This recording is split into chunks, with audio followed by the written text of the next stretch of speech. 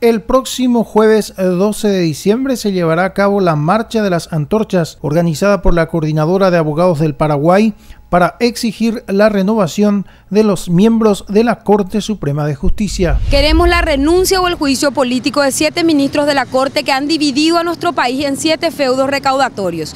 Ellos trabajan en una sinergia perfecta con senadores y diputados, no precisamente para brindar seguridad jurídica al Paraguay, sino simplemente para mercantilizar un bien tan preciado como es la justicia. Las antorchas en esta marcha simbolizarán la intención de iluminar al Poder Judicial para lograr la transparencia administrativa. Hoy la Corte, nadie controla cómo gasta su dinero a raíz de una acción de inconstitucionalidad que virtualmente derogó la Constitución, impidiendo o vedando el ingreso de la Contraloría General de la República. Con ese precedente, muchísimas instituciones, municipalidades, gobernaciones se han declarado sencillamente exentos del control presupuestario. Varios grupos sociales y civiles como referentes del 15N la Federación Nacional Campesina, víctimas de la dictadura de Licuabolaños y de Curuguatú, son algunas de las organizaciones invitadas para sumarse a la manifestación, cuyo punto de concentración será la Plaza Italia, desde donde marcharán a partir de las 19 horas hasta el edificio del Poder Judicial. Con imágenes de Sergio Ucedo, informó Claudio Genes para ABC Color.